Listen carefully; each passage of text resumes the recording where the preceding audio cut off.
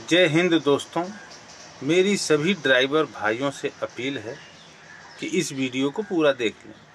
ये जो नया कानून अमित शाह ने पास किया है कि एक्सीडेंट होने पे पाँच लाख जुर्माना और दस साल की सज़ा, क्या आप लोग इससे सहमत हैं?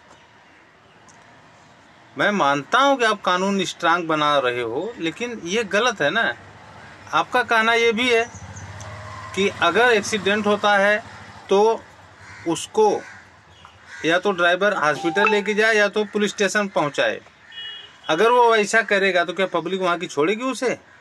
उसे बचाने कौन आएगा, अमित शाह या नरेंद्र मोदी? पब्लिक मार डालेगी ड्राइवर को भी, फिर उसके घर वालों को कौन मुआवजा देगा?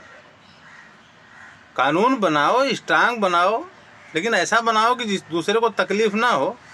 यही कानून आप ट्रेन के ड्राइवर पर क्यों नहीं लागू करते हो? ट्रेन से कोई कट जाता है तो उसको फांसी की सजा दे दो ड्राइवर को। फ़्लाइट में अगर एक्सीडेंट होता है तो उसके ड्राइवर के घर वालों को, पायलट के घर वालों को पूरा फांसी पे लटका दो। तब मैं जानूँ कि आपका स्ट्रांग कानून है। सिर्फ़ आम पब्लिक के लिए ही आपका कानून काम करता है।